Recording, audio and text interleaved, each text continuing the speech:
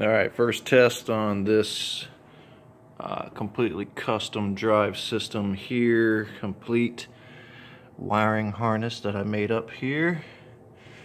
Because uh, we don't need that stinking factory harness there, that crap harness. So, got our own little harness we've made up here.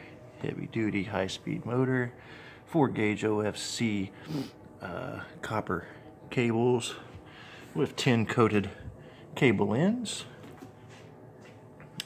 And just been sitting here pondering the whole wiring harness in my head. And we'll see what happens. So we are live. Got a negative just barely on there, so it might run intermittently because it's not fully clamped down, and I don't want it fully clamped down. And uh, let's see, this is the key switch here.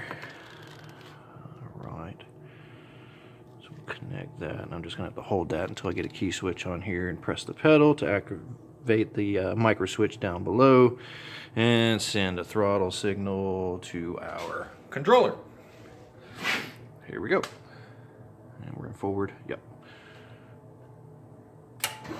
Whee! It's alive. Where's the tire at? There it is.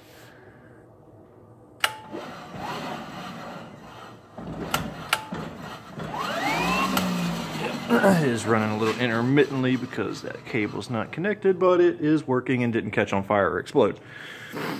Oh, great success.